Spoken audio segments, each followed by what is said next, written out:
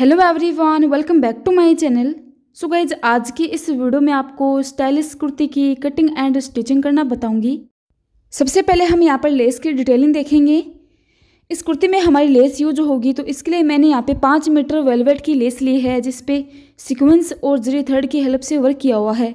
तो पाँच मीटर ये लेस है और इस पूरी लेस पे सिक्वेंस और जरी थर्ड की हेल्प से वर्क किया हुआ है। उसके बाद ये मैंने मोटा गोटा लिया है यहाँ पे। एंड ये जो गोटा है, ये दस मीटर के आसपास है। तो बस इतनी लेस मैंने इसके अंदर ली है। अभी हम फैब्रिक देख लेते हैं। इस कुर्ती को बनाने के लिए मैंने यहाँ पे रियोन का फैब्रिक लिया है यहाँ पे। तो इस फैब्रिक की क्वालिटी बहुत ही अच्छी है और काफ़ी सॉफ्ट ये फैब्रिक है। तो रियोन फैब्रिक मैंने लिया है, जो तीन मीटर है। तीन मीटर फैब्रिक हमारा हर एक साइज़ के लिए सही रहेगा। अभी हम टॉप पार्टी कटिंग करेंगे तो इसके लिए हमें कपड़े को फोरफोल्ड कर लेना है। अभी टॉप पार्ट की लेंथ लेंगे। यह कुर्ती हमारी नायरा कट टाइप में बनेगी। तो टॉप पार्ट की जो मैंने लेंथ रखी है, वो यहाँ पे पंद्रह इंच पे रखी है। एक इंच ज़्यादा लेंगे सिलाई मार्जिन के लिए। सोलह इंच पे मार्क लगाएँगे, बच्चे एक्स्ट्रा फैब्रिक को हटा दें। अभी हम शोल्डर का मार्क लगाएँगे। तो शोल्डर है यहाँ पे सात इंच जितना शोल्डर लिया, उतना आर्मोल लेंगे सात इंच और एक लाइन ड्रॉ कर देंगे। उसके बाद हम फिटिंग में चेस्ट का मार्क लगाएँगे। तो फिटिंग में चेस्ट की लंबाई यहाँ पर बत्तीस इंच पे है।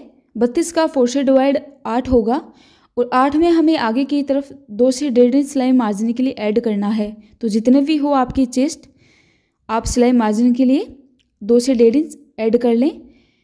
अभी वेस्ट है, यहाँ पर छब्बीस छब्बीस का फोर से डिवाइड साढ़े छः होगा और यहाँ पर भी हमें डेढ़ इंच सिलाई मार्जिन के लिए ऐड करना है। अभी फिटिंग का देते दोनों मार्कों को मिला दें। तो इस तरह से आप मार्क लगा लें फिटिंग का। भी आर्मोल में हमें एक इंच पे गहराई देनी है। अभी नेक का मार्क लगाएँगे तो नेक विड्थ रखी है मैंने तीन इंच। फ्रंट नेक डीप हमारा यहाँ पे साढ़े चार इंच रहेगा। बैक नेक डीप रहेगा तीन इंच।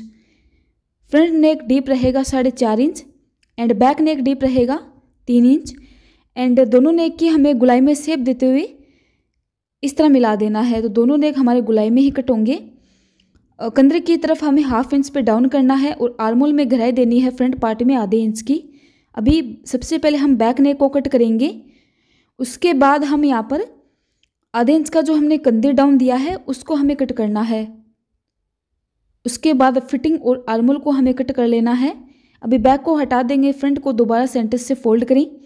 फ्रंट में हमने जो नेक का मार्क लगाया था, उसको कट कर लें और आर्मोल की कटिंग कर लें।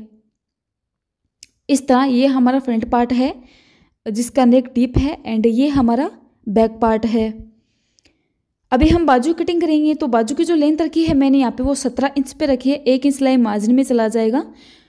तो अठारह इंच पे मैंने बाजू की लेंथ रखी है, आप इससे ज़्यादा भी रख सकते हैं।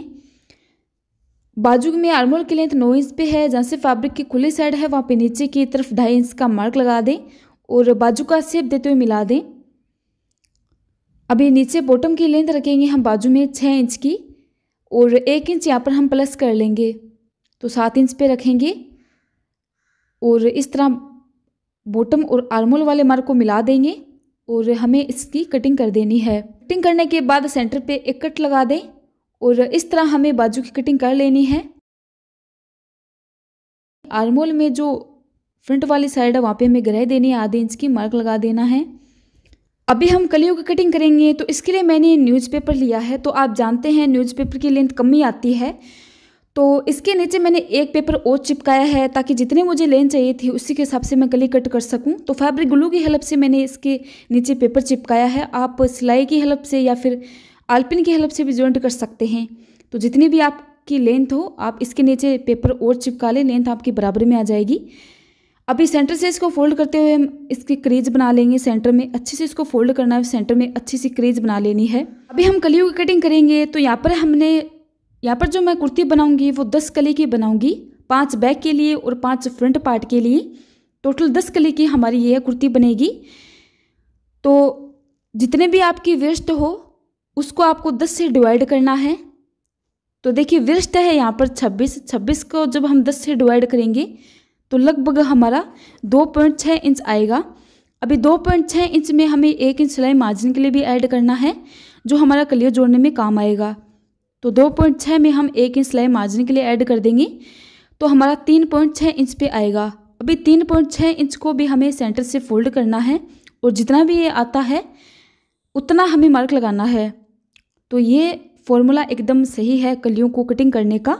जितने भी आपकी वेस्ट हो, उसको आप दस से डिवाइड कर लें और जितना भी आपको आता हो, उसमें आप एक इंच प्लस कर लें।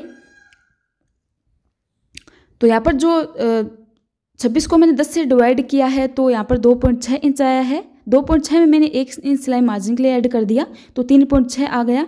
अभी तीन पॉइंट छः को भी हमें सेंटर से फोल्ड करना है, और जितना भी आता है, आपको यहाँ पर मार्क लगा देना है। अभी हम लेंथ लेंगे तो जितने भी आपकी टॉप पार्ट की लेंथ हो, आपको ऊपर की तरफ़ माइनस कर देना है। टॉप पार्ट यहाँ पर पंद्रह इंच पे बनके रेडी होगा। पंद्रह इंच को मैंने ऊपर की तरफ़ निकाल दिया और उनचास इंच से मार्क लगा दिया। उनचास इंच की मुझे यहाँ पे कुर्ती चाहिए। डेढ़ इंच हमें ज़्यादा लेना है सिलाई मार्जिन के लिए। तो यहाँ पर जो मैंने मार्क लगाया है, वो साढ़े इक्यावन इंच का लगाया है। अभी बॉटम की तरफ़ हम कली की विर्थ लेंगे। बॉटम की तरफ़ कली की जो विर्थ रखी है, मैंने वो पाँच इंच की रखी है। अभी वेस्ट वाला जो मार्क है हमारा कले का, उस मार्क को हमें नीचे बॉटम वाले मार्क तक मिला देना है। तो इंची टेप को इस तरह से आप तिरछा रख दें और मिला दें। अगर आप ये स्केल की हेल्प से मार्क लगाना चाहते हैं तो लगा सकते हैं। मेरे पास स्केल नहीं है तो मैं टेप की हेल्प से मार्क लगाऊँगी। मार्क लगाने के बाद हमने इसकी कटिंग कर देनी है। तो कले की कटिंग हो चुकी है, अभी मैं आपको खोल के दिखाती हूँ, खोल के दिखाती हूँ।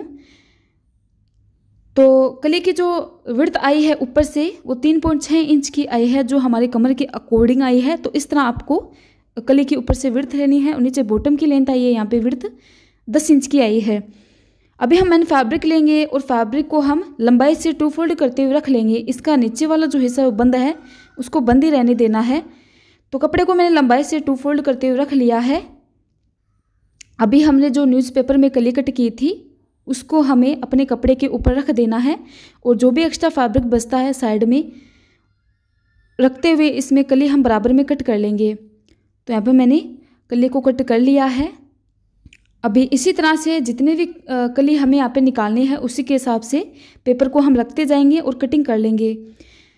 तो देखिए, यहाँ पर हमारी दस कलियाँ कट होंगी पाँच बैक के लिए और पाँच फ्रंट पार्ट के लिए। तो हम यहाँ पर कट कर लेंगे, ये फैब्रिक हमारा टू फोल्ड है। तो यहाँ पर एक साथ हमारी दो दो कलियाँ कट हो रही हैं। तो पेपर को हमें रख देना है, जो भी आसपास में फैब्रिक है उसको कट करते हुए रख लेना है कुछ इस तरह से। अभी इसको मैंने कट कर दिया है। अभी जहाँ से फैब्रिक की ज़्यादा कपड़ा निकलता है, वहाँ पे हमें बॉटम की तरफ़ रख देना है और कटिंग कर लेनी है। कलियों को कट करना आसान है क्योंकि न्यूज़पेपर के ऊपर हमने कलियों को कट कर रखा है। उसी हिसाब से आप कितनी भी कलियाँ कट कर सकते हैं यहाँ पे। अभी हम कलियों को एक दूसरे के साथ स्टिच कर लेंगे। तो यहाँ पर हमारे दस कलियाँ निकली हैं, पाँच बैक के लिए और पाँच फ्रंट पार्ट के लिए। तो कलियों को हम इस तरह से रख देंगे और रखते हुए सिलाई लगा देंगे। पाँच बैक में आ जाएँगे और पाँच हमारे फ्रंट में आ जाएँगी। अभी हम टॉप पार्ट को रेडी करेंगे तो सबसे पहले हम नेक को बनाएँगे यहाँ पे। नेक के लिए मैंने यहाँ पे गोल पट्टी ली है फ्रंट पार्ट के लिए। फ्रंट पार्ट हमारा डीप है। पट्टी को रख देंगे और सिलाई लगा देंगे। फैब्रिक प्रिंटेड है तो राइट और रोंग का ध्यान में रखिएगा। बैक के लिए उरे पट्टी ली है। पट्टी को सेंटर से फोल्ड कर रखते हुए यहाँ पर सिलाई लगा दें। तो फ्रंट में पट्टी को स्टिच करने के बाद हमें यहाँ पे छोटे छोटे कट लगाने हैं और कट लगाने के बाद पट्टी को हम रोंग साइड की तरफ़ फोल्ड कर देंगे और एक टॉप स्टिच यहाँ पर हम लगा देंगे। एंड बैक पे मैंने पट्टी को रोंग साइड की तरफ़ स्टिच किया और राइट साइड की तरफ़ फोल्ड करते हुए टॉप स्टिच लगा दिया। उसके बाद हम दोनों की राइट साइड नीचे की तरफ़ रख देंगे और कंधी को भी जॉइंट कर लेंगे। उसके बाद हम बाजू को स्टिच करेंगे तो सेंटर से सेंटर मिलाते हुए बाजू को रख देंगे और यहाँ पर सिलाई लगा देंगे। बाजू के बॉटम को हाफ़ इंच की दूरी पर डबल फोल्ड करेंगे और यहाँ पर सिलाई लगा देंगे। बाजू के अंदर मैं लेस का यूज़ करूँगी तो ये हमारी लेस है। लेस की डिटेलिंग मैंने आपको बताई थी। तो बॉटम को फोल्ड करने के बाद हम इसके ऊपर रख देंगे और दोनों तरफ़ से इस पर सिलाई लगा देंगे। इसी के अकॉर्डिंग हम दूसरे बाजू को भी यहाँ पर रेडी कर लेंगे। तो इस तरह से हमें बाजू को स्टिच कर लेना है एंड बॉटम के अंदर लेस भी ऐड कर देंगे हम। तो इससे बाजू का लुक काफ़ी अच्छा आएगा। स्पेस सा नहीं लगेगा इसमें। तो यहाँ पर मैंने कलियों को भी स्टिच कर दिया है। पाँच कलियाँ हमारी बैक में आ चुकी है और पाँच फ्रंट में। तो इस तरह हमें स्टिच कर लेना है और अब लुक देखिए कितना अच्छा आया है इसका।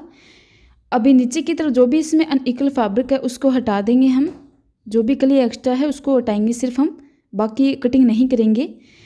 उसके बाद हम कलियों की जो चाक वाली साइड है, उसको हम हाफ़ इंच की दूरी पर डबल फोल्ड कर देंगे और सिलाई लगा देंगे। उसके बाद हम नीचे जो बॉटम है कली का, उसको भी आधे इंच की दूरी पर डबल फोल्ड करेंगे एंड सिलाई लगाएँगे। तो चाक को हमें सिर्फ़ हाफ़ इंच की दूरी पे ही फोल्ड करना है, एकदम बारीकी से। और जो बॉटम है, उसको भी फोल्ड करना है।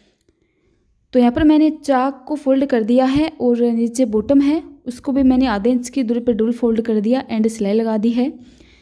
तो मैंने इनको बारीकी से फोल्ड किया है एंड इसी के अकॉर्डिंग मैंने यहाँ पर ये बैक पार्ट भी बना के रेडी कर दिया है। अभी हम यहाँ पर लेस की डिटेलिंग करेंगे।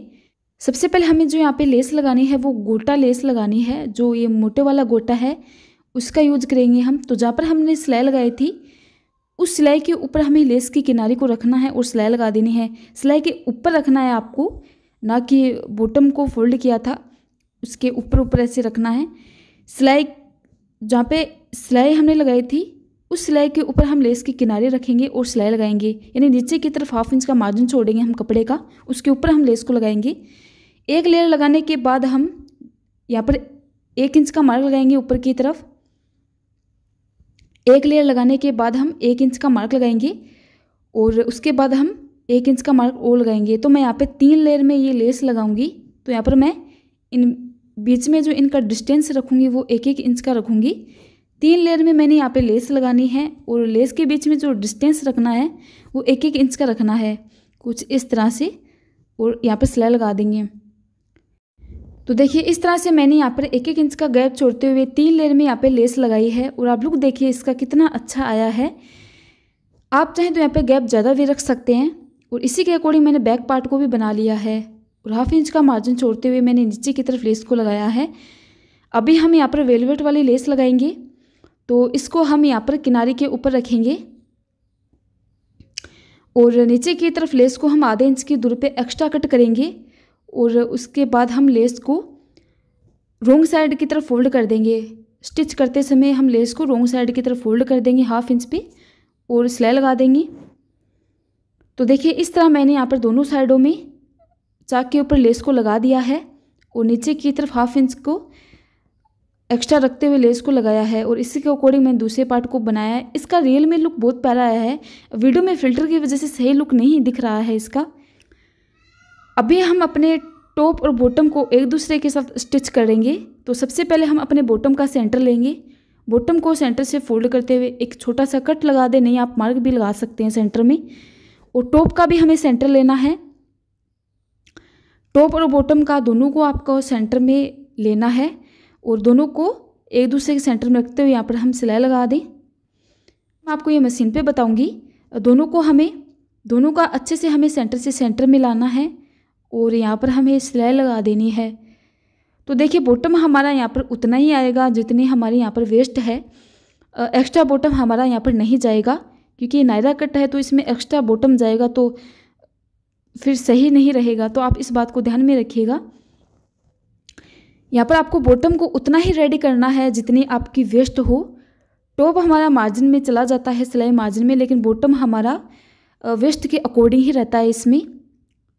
तो जितने भी आपकी वेस्ट हो, उतना आपको बॉटम को रखना है। कुछ इस तरह से आपके स्टिच करने के बाद इसका लुक है अभी अपने मेज़रमेंट के अकॉर्डिंग हम फिटिंग में सिलाई लगा देंगे। तो साइड चाक हम किस तरह रेडी करेंगे, वो मैं आपको सिलाई मशीन पर बताऊँगी। एंड इसका बहुत ही आसान तरीका मैं आपको बताऊँगी। तो बाजू और टॉप फिटिंग में सिलाई लगाने के बाद जो हमारा चाक वाला हिस्सा है बैक और फ्रंट दोनों पार्टों को आपको अच्छे से मिलाना है चाक वाले को। और जहाँ पे हमारा चाक आता है वहाँ तक हमें मार्क लगा देना, जैसे मैंने ये लगाया है। तो इस तरह से आप मार्क लगाते हो बिल्कुल पास में हमें इसकी सिलाई निकालनी है। ये देखिए, कुछ इस तरह से बिल्कुल पास में हमें इसकी सिलाई निकालनी है। और इसका जो फाइनल लुक आएगा, वो कुछ इस तरह का आएगा। ये देखिए, हमारा चाक जो बन के रेडी होगा, वो कुछ इस तरह का रेडी होगा। ये चाक रेडी करने के सबसे आसान तरीका है। आपको यहाँ पर कोई भी प्रॉब्लम नहीं होगी। बिगनर हैं तो भी आप आसानी से कर सकते हैं। और ये हमारे कुर्ती का रियल लुक है। दूर से आपको सही नहीं दिखा, मैं आपको जूम से दिखा रही हूँ। ये इसकी लेस है, जिसका लुक कुछ इस तरह का है। सीक्वेंस और जरी थ्रेड की हेल्प से इस पर वर्क है। अभी हम यहाँ पर वेस्ट साइड की तरफ़ डोरी लगाएँगे। तो टॉप और बॉटम को स्टिच करते समय जो सिलाई आई थी, इस सिलाई के नीचे की तरफ़ हमें एक इंच का मार्क लगाना है। यहाँ से हमें लूप लगाने स्टार्ट करने हैं। तो एक इंच का हमें यहाँ पर मार्क लगाना है। और इस मार्क से नीचे की तरफ़ हम डेढ़ इंच का मार्क लगाएँगे, यानी सभी लूप के बीच में जो मैं डिस्टेंस रख रही हूँ, वो डेढ़ इंच का रख रही हूँ। तो ये मार्क हमें दोनों साइड में लगा लेने हैं। दोनों चाक पे लगाने हैं हमें यहाँ पे बैक और फ्रंट दोनों चाक पे। अभी मैंने ये लूप कट किए हैं। बिल्कुल मार्क के नीचे हम इसको रख देंगे रोंग साइड की तरफ़ हमें लूप को रखना है। और रखने के बाद यहाँ पर सिलाई लगा देंगे। लूप की जो यहाँ पर मैंने लेंथ रखी है, वो दो इंच की रखी है। दो दो इंच की मैंने यहाँ पे छोटी छोटी पीसेस कट कर लिए हैं। और देखिए, कुछ इस तरह से हमें बैक और फ्रंट दोनों पार्टों में ही लूप को लगा देना है। और इसका लुक कुछ इस तरह का आएगा। अभी डोरू को इसके अंदर हम डालेंगे। तो सबसे पहले हम एक लूप के अंदर डालेंगे, फिर एक लूप छोड़ देंगे। ये देखिए क्रॉस में हम डालेंगे, फिर दूसरा वाला एक लूप छोड़ देंगे और दूसरे के अंदर डाल देंगे। ये लूप हम छोड़ देंगे।